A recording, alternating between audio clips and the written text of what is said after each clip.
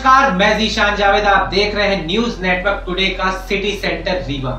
मेरे साथ देखिए दिन भर रीवा में क्या घटा, क्या कुछ हुआ। डिस्पोजल को लेकर नगर निगम की गुंडागर्दी सामने आई। बड़े दुकानदारों को अभयदान, छोटों पर कार्रवाई, सामान भी ले गए। जुर्माना भी करा दिया। बड़ा सवाल अब तक चलेगा। ऐसा पूछ रहे हैं फल का ठेला लगाने वाले। कहाँ लिखा करा डिस्पोजल को लेकर नगर निगम की गुंडागर्दी, छोटे दुकानदारों पर जुर्माना, बड़ों पर कार्रवाई। फल वाले छोटे किराना व्यापारियों पर सामान भी ले गए, चालान भी कर दिया। साफ़ तौर से छोटे व्यापारियों का कहना बड़े व्यापारियों को नज़रअंदाज करती है नगर निगम की टीम। शायद बड़े व्यापारियों की राजनीतिक पहुँच काफ़ी लंबी है। इस मामले पर हमने महापौर रीवा अजय मिश्रा बाबा से बात की। उनका साफ़ तौर से कहना था, केंद्र सरकार कंपनियों को ही बंद कर दे, ऐसी फैक्ट्रियों को ही बंद कर दे जहाँ इस तरीके की पॉलीथीन बनती है। महापौर का साफ़ तौर से कहना, मैंने कहा है बड़े व्यापारियों पर कार्रवाई हो, छोटों को तंग न किया जाए। जब बड़े व्यापारी ही माल नहीं देंगे तो छोटों के पास कहाँ से आएगा? हम इस पर आज ही एक्शन लेंगे, कहा महापौर ने। हम आपको बता दें, छोटे व्यापारियों को डराया धमका जाता है, उनका सामान भी उठाया जाता है, उन पर जुर्माना भी किया जाता है। सभी को मालूम है, शायद इनके तरफ़ से कोई बोलेगा नहीं, जो मर्ज़ी हो, वह इनके साथ कर लो, अपना कोरम पूरा कर लो। नगर निगम के ताज़ा हालात कुछ इसी और इशारा करते हैं। हमारी टीम ने फल ठेला व्यापारी, किराना व्यापारी से बात की, पन्नी को लेकर उनका साफ़ तौर से कहना था। नगर निगम चाहे तो एक दिन में बाज़ार में बिकने वाली पन्नी और डिस्पोजल पर अंकुश लगा सकती है। सीधी सी बात है, कंपनियों को बंद कर दिया जाए, पन्नी बनेगी ही नहीं। बड़े व्यापारियों की दुकान से पन्नी को जब्त कर लिया जाए, हम उनसे खरीद नहीं पाएँगे। अपने आप बाज़ार में बिकने वाली पन्नी पर रोक लगा जाएगी।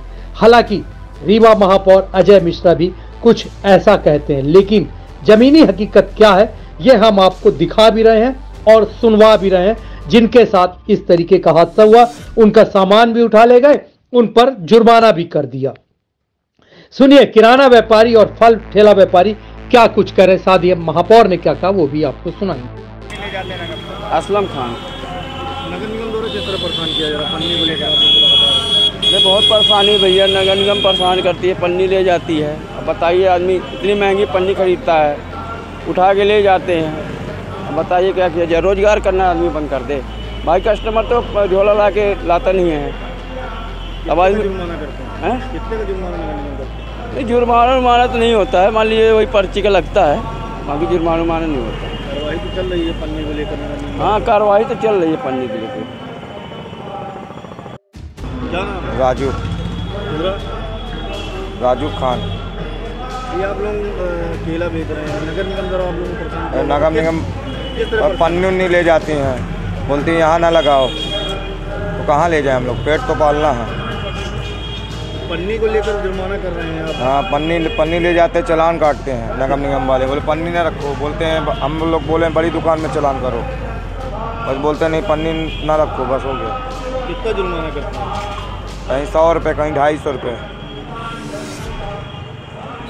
अपने जो पर्यावरण की स्थिति है, बड़ी खराब होती जा रही है। और हम लोगों की तरफ़ से पूरा प्रयास है कि पॉलीथीन बंद हो जाए।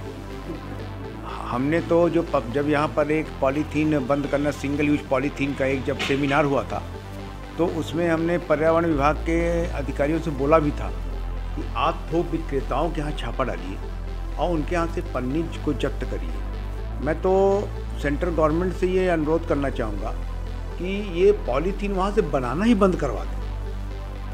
समस्या ये है कि छोटे दुकानदार जैसे ठेला वाले हैं किराना वाले इनका हज़ार पाँच सौ की पन्नी उठा लाते हैं चलान करते हैं। और जबकि बड़े थोक विक्रेता जो पन्नी वाले उनको बंद नहीं करते तो खुलेआम बेच रहे ट्रकों माल उतार के। और ठेला वालों को परेशान करें चाहे जो दो सौ तीन सौ का हैं बिल्कुल बिल्कुल आपने ये बात सही बताई संज्ञान में लाया। आज ही इस पर हम लोग चर्चा करेंगे कि आप ठेला वालों को कम तंग करें और जो मेन थोक विक्रेता ठेला वाले से बल्कि पूछे कि आप कहाँ से ले आए और उसको, उसके खिलाफ कार्रवाई करवा हैं। दिन भर की ताज़ा तरीन खबरों से जुड़े रहने के लिए चैनल को सब्सक्राइब करें और बेल आइकन दबाएँ। और देखते रहिए न्यूज़ नेटवर्क टुडे।